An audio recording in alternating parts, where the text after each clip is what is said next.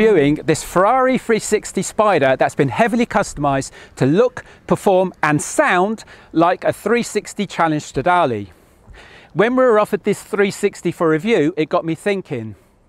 With an OEM right-hand drive Challenge Stradale costing around £230,000 in the current marketplace, whereas a standard 360 customised to Challenge Stradale specification costing around £80,000, is an OEM Challenge Stradale really worth £150,000 more than a standard 360 customised to Challenge Stradale specification?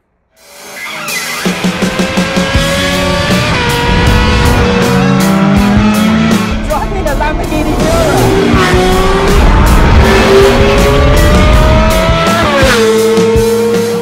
Today's video is presented in partnership with Hampson Auctions, one of the UK's leading classic, performance and supercar auction houses.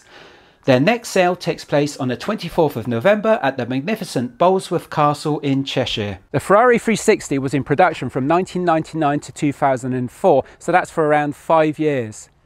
This particular 360 Spider has been heavily customised to challenge Stradale's specification, which includes changes to the external bodywork and to engine and transmission mappings. First of all, I'm going to take you for a walk around the external to show you the body panels that have been uplifted. And then we're going to talk about the engine management changes. And then we're going to take it out on the road and see how it compares in driving to a Challenge Stradale. So talking about the external bodywork, this car now has the front Challenge Stradale bumper, side skirts and rear bumper. And I should say that this car is actually black. So it came out of the factory black. This car has now got a full red PPF wrap on it. So the standard color is black. So moving to the engine compartment. The Ferrari 360 replaces the much loved Ferrari 355 and is itself superseded by the Ferrari 430. The main improvements made to the Ferrari 360 over and above the 355 are, of course, the body changes, the restyling, and the inclusion of an aluminium space frame.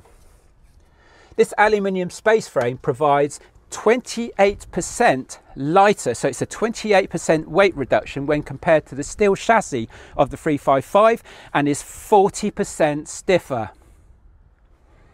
The performance metrics of the 360, of the standard 360, are 3.6 litre naturally aspirated V8 pushing out around 390 brake horsepower and 275 pound-foot of torque. It will take you from 0 to 62 in 4.6 seconds and a top speed of 180 miles per hour.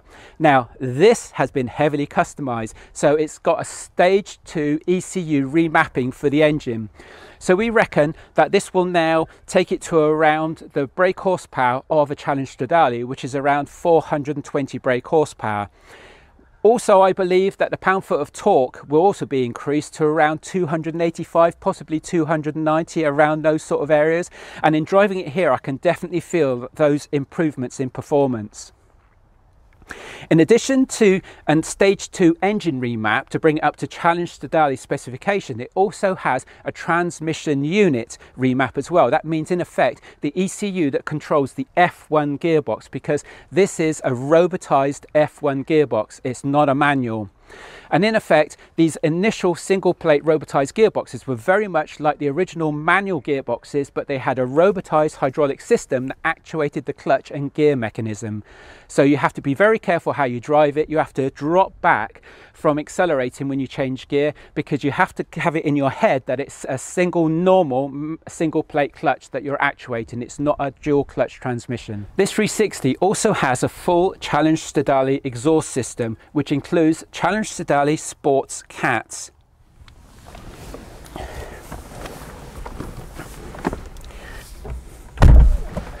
This 360 also has some hidden upgrades, but we'll talk through those upgrades when we take it out on the road and see how it compares in driving to a real Challenge Stradale. So the first thing you notice when driving an F1 Gearbox 360 that it's very lurchy at slow speeds because this is in effect a robotized manual gearbox. It's very different to the modern dual clutch transmissions. even when compared to the latest edition of this robotized F1 gearbox system, which was evident in the 430 Scuderia, it's still very, very clunky. Still very, very clunky at low speeds. And you should pause on the accelerator before you change gear, before you pull another gear on the paddle shift. That's the proper way to drive a robotized F1 style gearbox.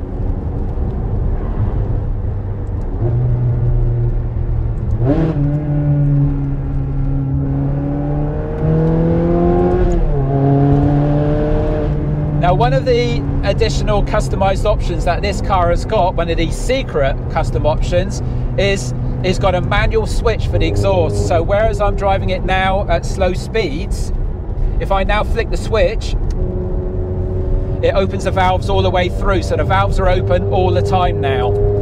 And remember, this is a Challenge Stradale exhaust system with Capristo Sports Cats. So it's pretty loud. You don't want it drony like that all the time you're driving it, but for having fun, for sure, you want it like that. Now I'm going to close my mouth a bit. I'm going to shut up and let's just listen to the sound of this car.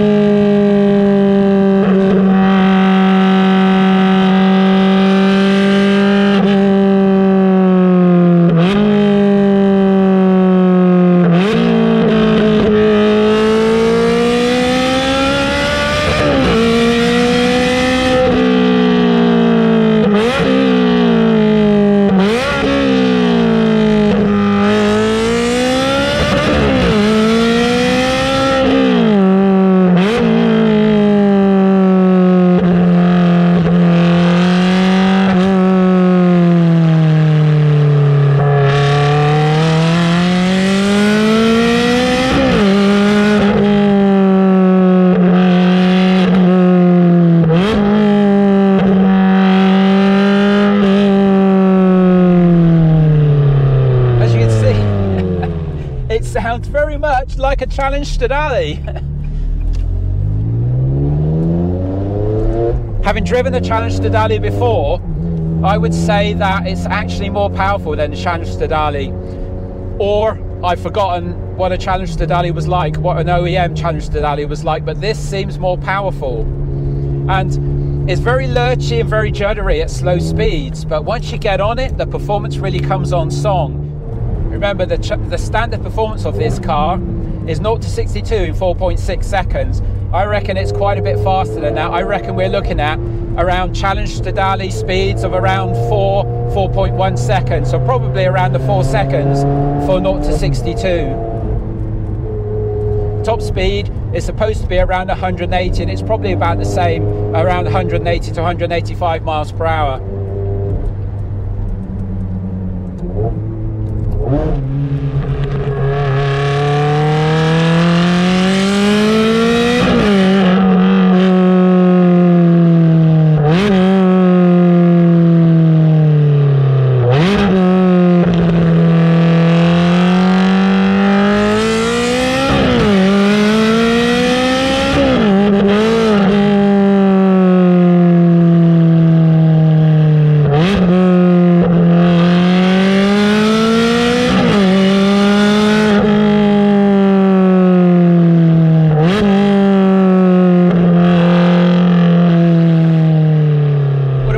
about this F1 gearbox though is it does provide better engagement.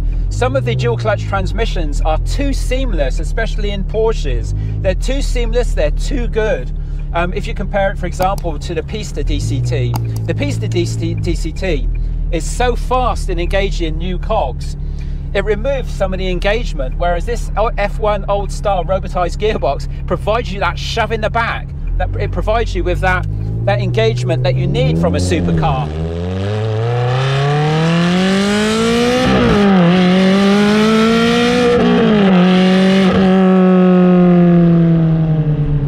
You that punch in the back. And it makes it more enthralling. It actually makes you feel like you're going faster. It's what you want. It's part of the engagement you want from driving a supercar. It's very important though to remember that this car was in production from 1999. So it's very much a car of its era.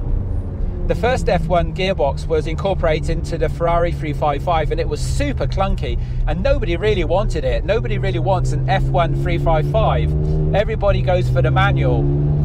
And pretty much it's the same for the 360. There was very few manuals that are actually developed because most people wanted the F1 gearbox because it was the new hip thing. But most people nowadays, of course, want the manual but it is very engaging. The F1 gearbox, if you drive it correctly, it is quite engaging, especially on a car of this nature. If you were looking to purchase your first supercar or add a car to your collection, Rich Reviews has already helped multiple owners secure their dream supercar.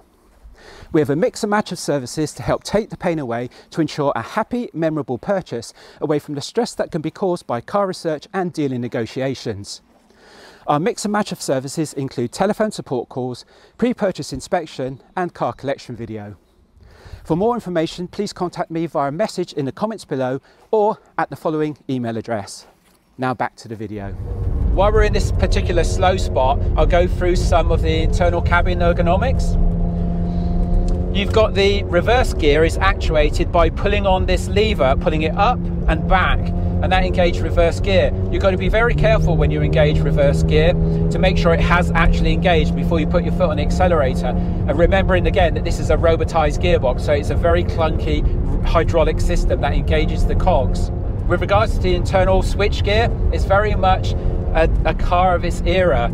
You've got an old style climate control, you've got control knob here for the different temperature, you've got the fan speed on the right, and you've got the direction for the climate control on the left hand side.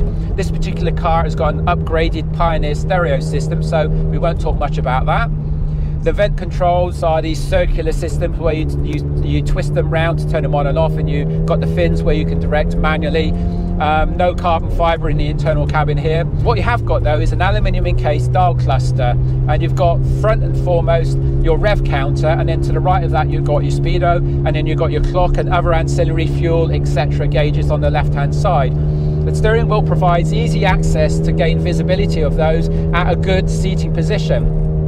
And while we're talking about that, the seating position is actually very good. This particular 360 has the carbon bucket seats. And although they're not adjustable for rake going um, on the back part of the of the headrest section they are actually very comfortable. They cosset you they hold you at the kidneys level but not aggressively. So it's actually a very comfortable position. And although personally I would like the seat a little bit higher because I'm long in my legs but short in my body. So all my height really is in my legs it's actually a very good driving position. So um, these bucket seats are very, very good. And I would recommend these bucket seats being preferential. They just come into a nice straight section. So I'll shut up and let you hear the car.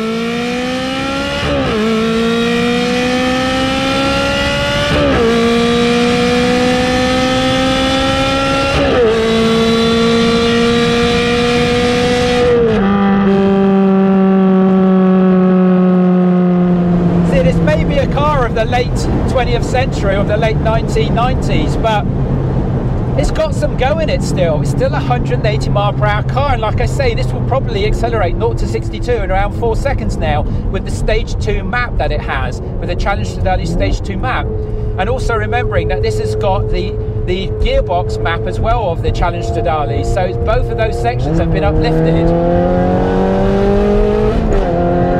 no slouch.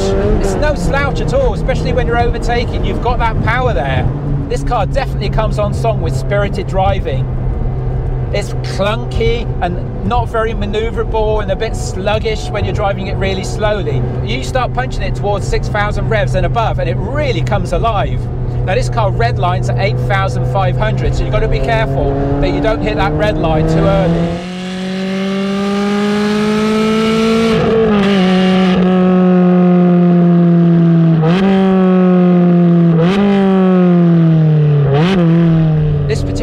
Cabin is resplendent in leather, black leather across the top dashboard section, and the lower section is beige, is tan, which is very, very standard and very much a good spec for these 360s, and quite common actually that they're in that the internal colorway was was black over tan.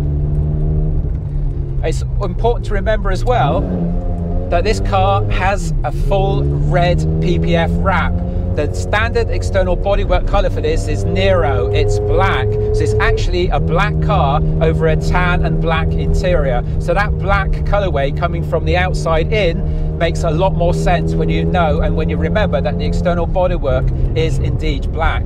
Now, one of the negatives of the interior that is important for me to mention, and I noticed this straight away, is that the driving position, your the footwell slightly skewed to the left, which is quite common for some of the early Ferraris.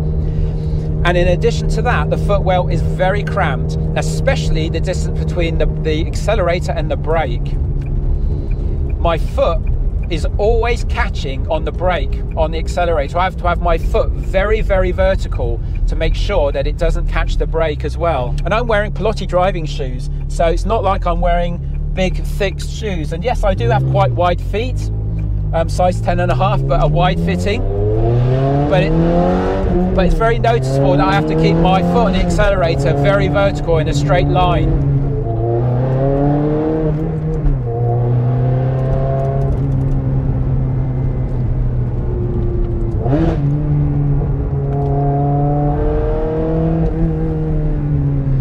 Steering is quite light, but it turns in very well.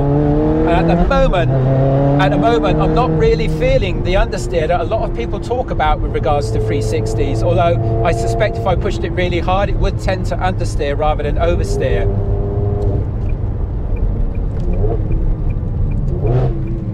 Although you can't really compare the 360s with a modern Ferrari, you can see there that the steering isn't really anywhere near as fast as some of the later Ferrari supercars. And this is what you'd expect really for the 355 and the 360 models. It's not really slow, but it, it means that you've got to cross your hands if you're coming up to a sharp turning. But for most corners, you can pretty much keep your hands in the 10 to 2 position. Now the second hidden customization feature that this particular 360 has is it has a bumpy road mode. So when the customizations were made, the owner asked for a, a, a, softening of the suspension to be put in place. In effect, when the car's in sport mode, you have a, a little switch to the left of the of the exhaust switch of the exhaust valve switch and this switch automatically switches the suspension to a softer version and it makes it a lot more compliant. However, we've been driving it in the sport suspension mode and we found it to be great and this is quite undulating these road sections so I wouldn't say you necessarily need that bumpy road mode but you've got it there if you want to so that's pretty cool. You've got a 360 that's got a bumpy road mode. Quite a good idea.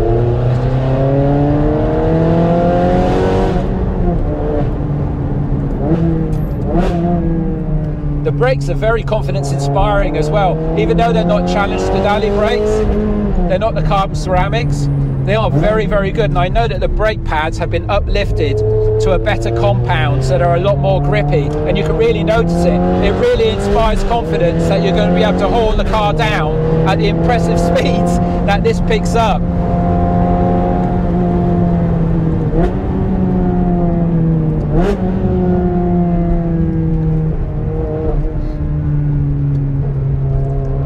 Shows you that these old Ferraris, these 360s and possibly the 355s as well, they have a lot to give, especially if you do a few upgrades like this one's got to the management systems for the engine and the gearbox. You can really bring it back to a modern-like style performance specification. So in my opinion, is a Challenge Stradale worth £150,000 more than it costs to uplift a standard 360 to Challenge Stradale specification? Unless you particularly wanted that Vergiani Speciale Challenge Stradale, I would say no to be honest. Challenge Stradales are getting really pricey now. £230,000 is a hell of a price to pay for a 1999 Vergiani Speciale.